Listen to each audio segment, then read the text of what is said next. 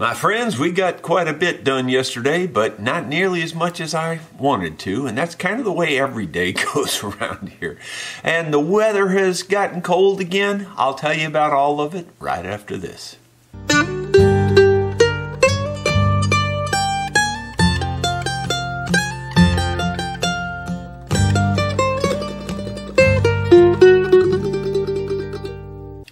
Friends. Jerry Rosa here in the Rosa String Works Workshop. It is Thursday, April 6th, which reminds me that tomorrow we will have our shop talk at 8 o'clock my time. And if you have questions, comments, or topics you'd like me to discuss tomorrow, just put those in the comments of today's video and we will get to those. Be sure to start your question, comment, or whatever with question marks at the front of the question. That way I'll know it's intended to be in the shop talk tomorrow. I had a pretty productive day yesterday, but I didn't make it to the sawmill. I wanted to get that done yesterday and I didn't get there. Well, what happened was after you saw the video of Mitzi picking her mandolin yesterday, well, then uh, she asked me to uh, do a setup on that mandolin. So I did a full setup, including a deer antler saddle, you know, new strings, of course, and, you know, set the action, the intonation, the whole bit and got it working up really, really nice for. Had to do quite a bit of leveling on the frets. The frets were a little bit out. That's a really good sounding Eastman mandolin, and I, I stand by what I've said all along that the Eastman mandolins are about the best um, you know, off the shelf mandolins you can buy these days, in my opinion. I don't know uh, price wise how they compare because I don't buy them, but on the other hand, uh, I, I see them come through the shop all the time and they're really good mandolins. So I would recommend that uh, if you're in the market for a mandolin, that you look into the Eastman line. And uh, my good buddies down there at the acoustic shop in Springfield can help you out with that. They're uh, Eastman dealers and I know Eastman products also. So uh, give the guys down there at the acoustic shop a call in Springfield, Missouri. It was like 34 this morning when I looked at the thermometer. Might have got colder than that overnight. Uh, at least the sun looks like it's trying to poke out today. That might warm things back up. You know, we might as well live in Canada if we're going to have Canada weather.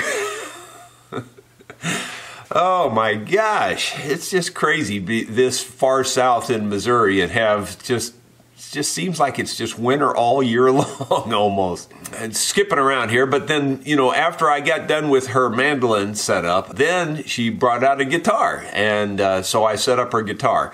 I didn't film the guitar, I probably should have, but we were running tight on time and she was wanting to get back on the road because she was she just lives like 40 miles south of Chicago. So she had a long drive to get back home. So I set up her guitar. You know, I always say you can throw a dog through there. Well, she said you can throw an elephant through here. and she was right. It was really high. It was twice as high at the nut as it needed to be, and about 30 or 40 thousandths too high back at the uh, 12th fret area.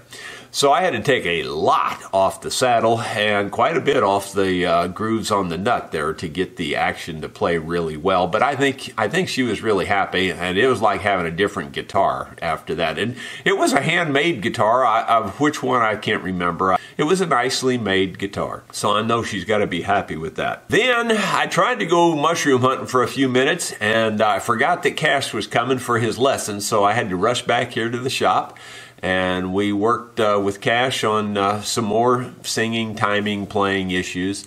And Cash recorded the song that I'm going to play for Easter Sunday.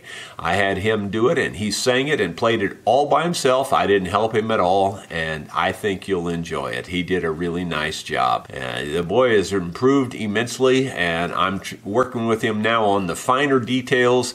You know, I keep throwing stuff at him that he keeps going like, like he's overwhelmed. Like I, I, I kind of thought I was, you know, where I needed to be, you know. And I keep saying, "Well, you're just on your way, buddy. There's a lot more to it." And I tried to impress on him too that no matter how good you get, there's always somebody better out there. You know, I don't care how good you think you are.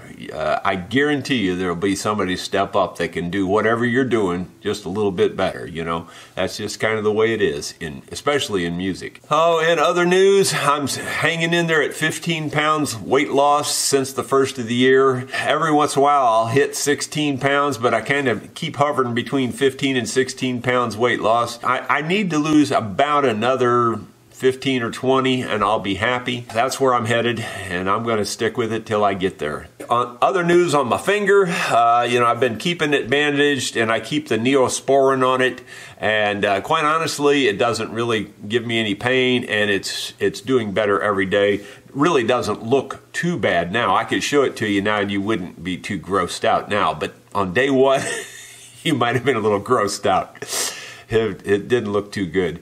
And I was really worried about it on day one, but fortunately, I, because I've been keeping the neosporin on it and the uh, bandage on it, it's uh, healing up fairly quickly. So I think the danger has passed on infection or anything like that. I think it's going to be just fine. Hopefully, I'll be able to get out there on the sawmill today and finish that up, although it is kind of cold, and I'm really not looking forward to working out you know, kind of in that open area there. Hopefully it'll warm up at least up into the 50s or something, so it's not so bad. You know, when you're working on all that uh, solid steel, as in that sawmill, it gets kind of cold when it's down in the 30s, you know. Well, anyway, that's going to be it for today. If you uh, enjoy my videos, please give me a thumbs up. And be sure to put your questions, comments, and topics in today's video, and we will discuss those tomorrow on Shop Talk, 8 o'clock my time. Be there or be square, as they say. We'll see you then.